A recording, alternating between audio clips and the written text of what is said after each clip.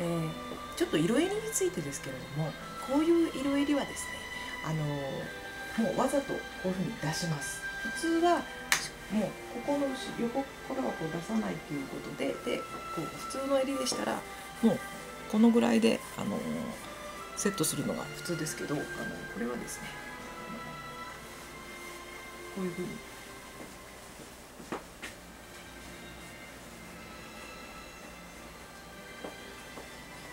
なのであの最初の長襦袢の決め方ももうキツキツのところでこういうふうにあの決めます。はい、するとあの寒い時期寒い時期にですねあの寒々とした印象にならないのであのもうだんだん暑くなってきましたらあの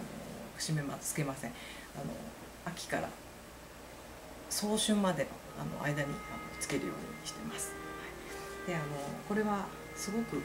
難しいので私はあの無地に合わせてますけど例えばウールとかあのまちぎですね